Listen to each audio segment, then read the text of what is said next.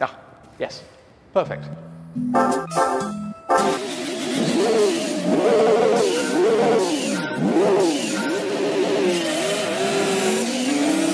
In this episode of Autocar Heroes, a series for which it is well worth subscribing to our channel, we are going to explore a vehicle that defined the performance car for a generation. It came loaded with dynamic technology. In its age, it set new standards for capability and speed, combining the best old school hardware, like a front mounted straight six cylinder engine and manual gearbox, with heavy turbocharging, four wheel drive, and advanced chassis control. Then it appeared on Gran Turismo, and the cult became a legend. It's the Nissan Skyline R34 GTR.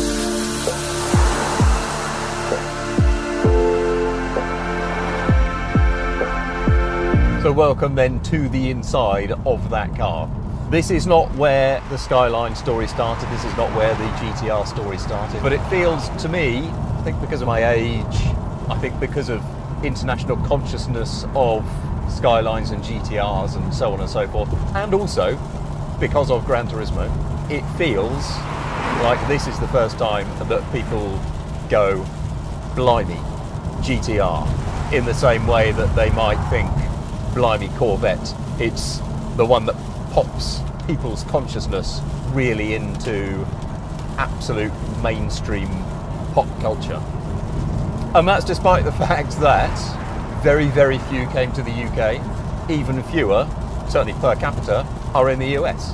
Because it was never certified for US emissions regulation or crash regulation, it was never officially sold there. And even if now you look at their list of cars you can import into the US and ones you cannot as part of that show and demonstrate thing, the R34 is not among them. It is a hard car to get into the States. It still feels like a cult car, even though we kind of all know about it. We all know about it, but we don't see them very often.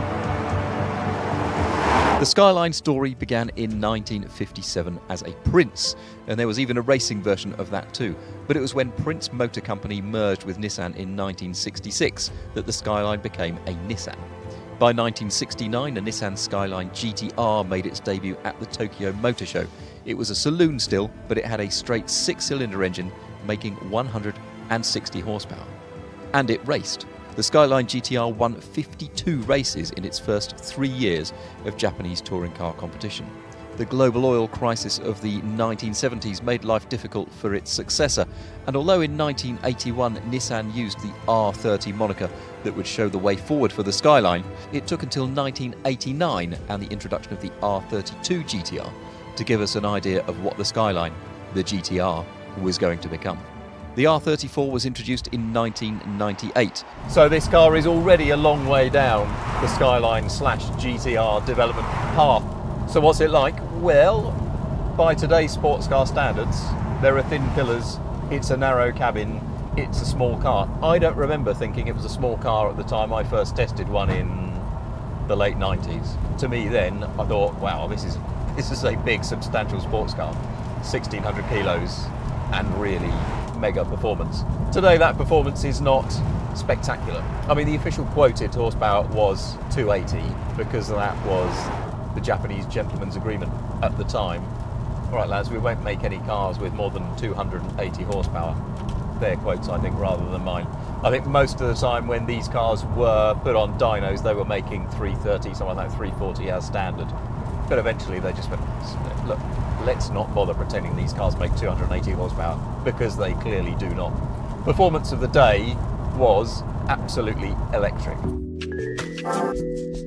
Uh, so the GTR, it has an engine.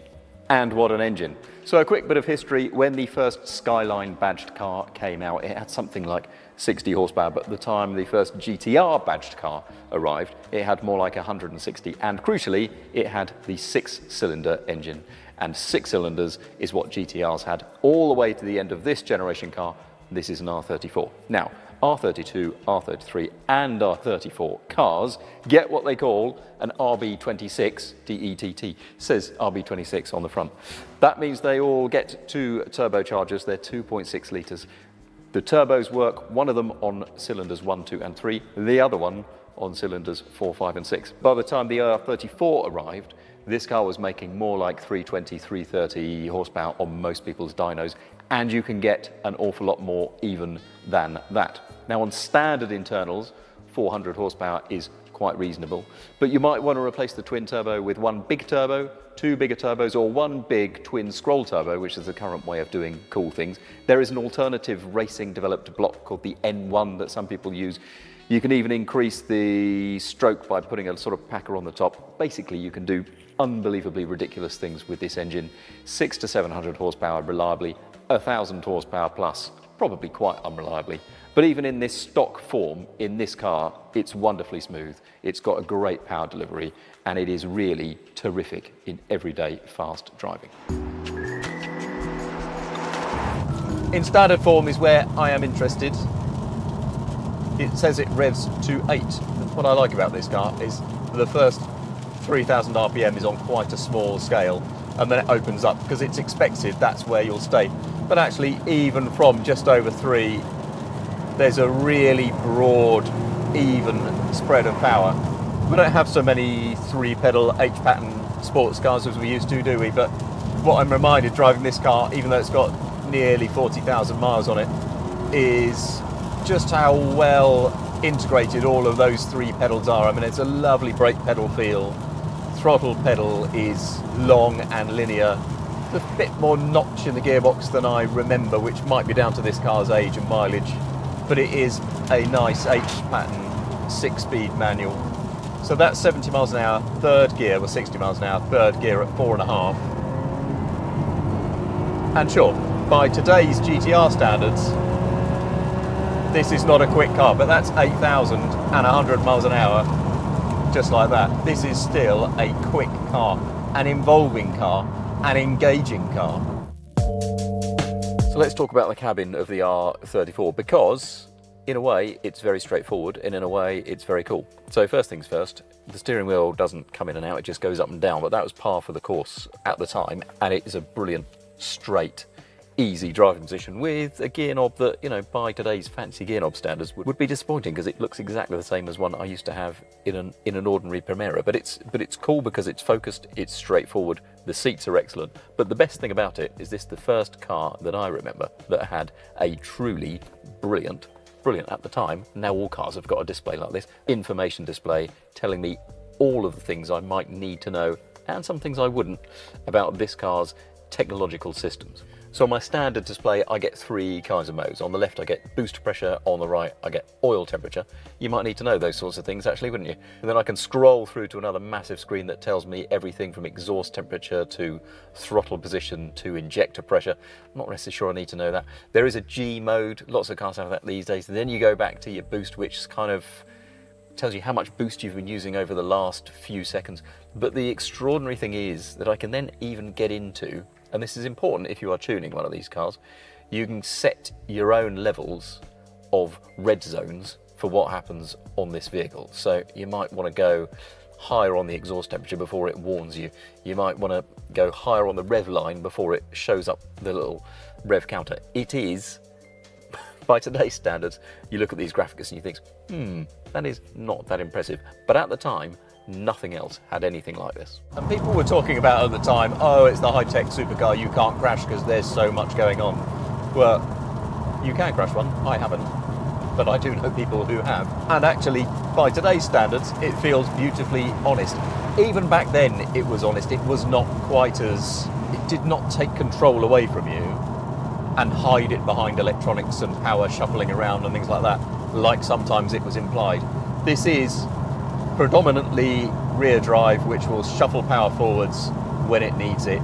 Yes, of course, there are some electronics, but it is fundamentally an honest, engaging, steers brilliantly, rewarding sports car. And if somebody said, look, you can have one of these or a 911 of similar vintage, this has loads going for it. I mean, it's a bigger car and it doesn't have that flat six but it's got a really beautifully smooth straight six. It's got terrific steering, it's got nice handling.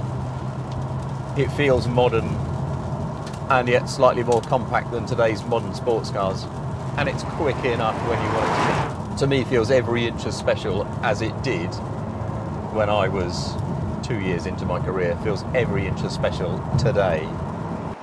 What I'm interested in though is to see how well today's GTR stacks up against the R34.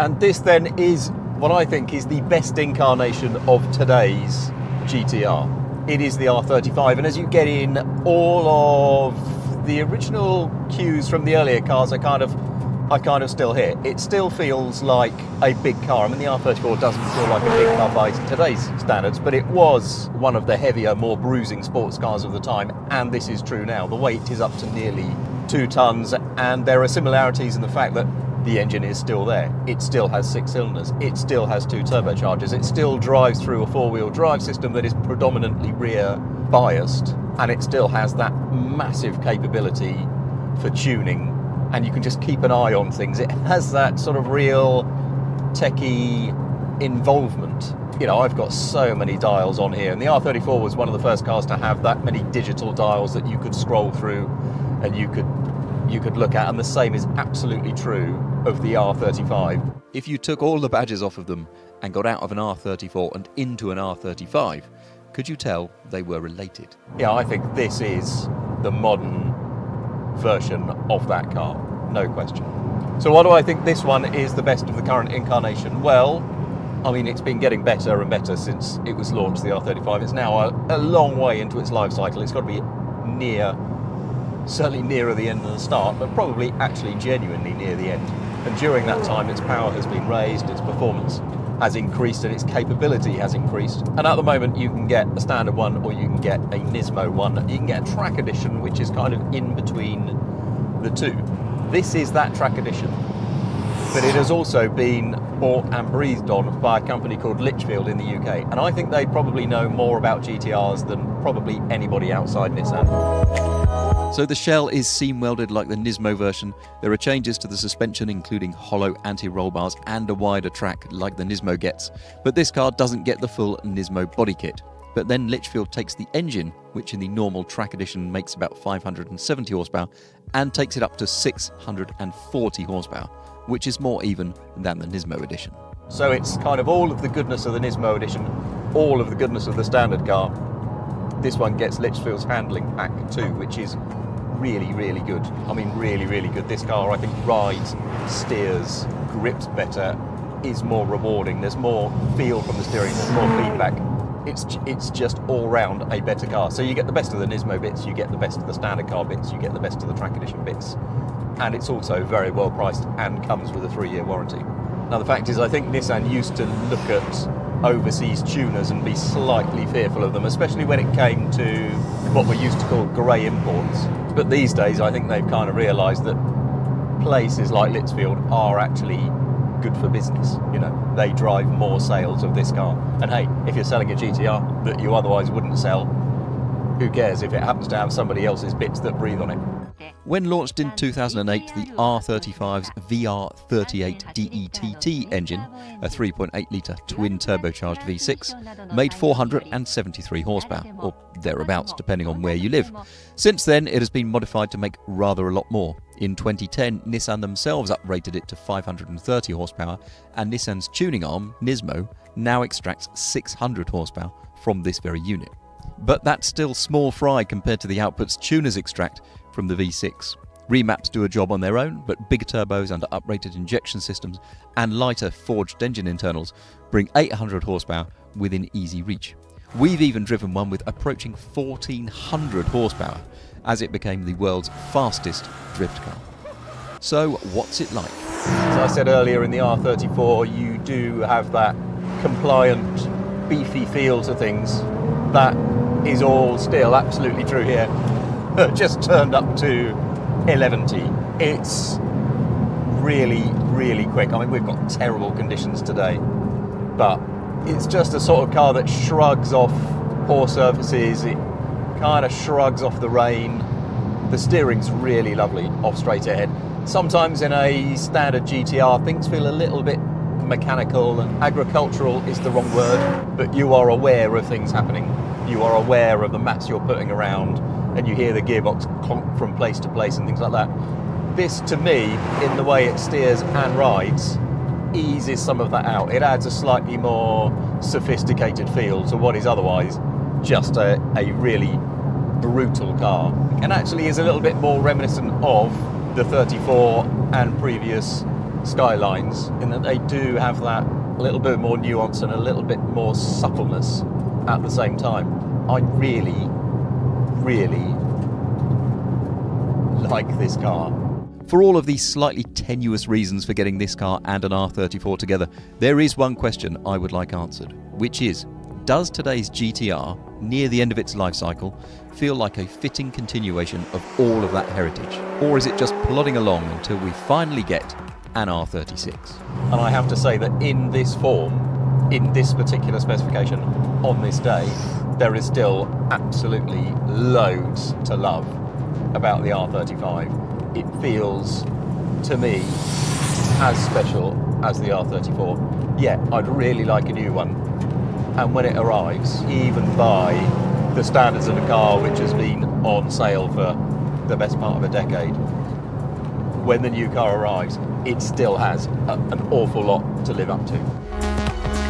If you like this nonsense, don't forget to like, subscribe, and even turn on notifications so you never miss another Autocar Heroes video.